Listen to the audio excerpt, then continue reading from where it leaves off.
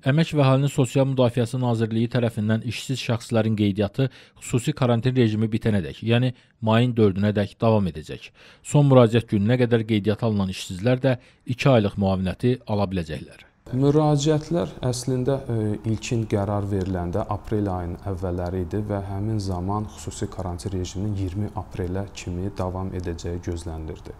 E, aprel ayının ortalarında artıq e, vəziyyət təhlil olundu və qərara gəlindi ki, xüsusi karantin rejimi 4 maya qədər uzadılacaq və bunun əsasında ölkə başçısı tərəfindən növbəti humanist addım atıldı və qərar verildi ki, bu müavinat veriləcək hədəf qrupu 3 dəfə artırılsın. 200 mindən 600 minə çatdırılsın. Bu eyni zamanda bizim vətəndaşlarımız üçün bir əlavə vaxt verdi müraciət üçün. Yəni artıq vətəndaşlarımız tələsmədən 4 maya qədər müraciət edə bilərlər. Yəni əlavə 2-3 həftə onlar vaxt qazandılar burada.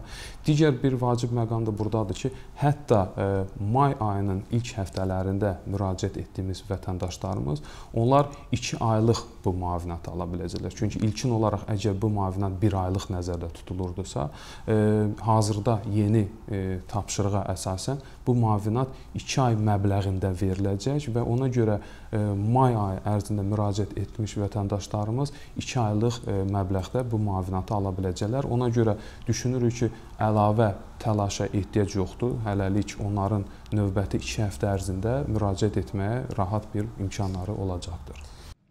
Qeyd edək ki, Prezident İlham Əliyevin tapşırığına əsasən birdəfəlik ödəmə proqramının əhatə dairəsi 3 dəfə artırılıb və proqram 600 min şəxsi əhatə edəcək.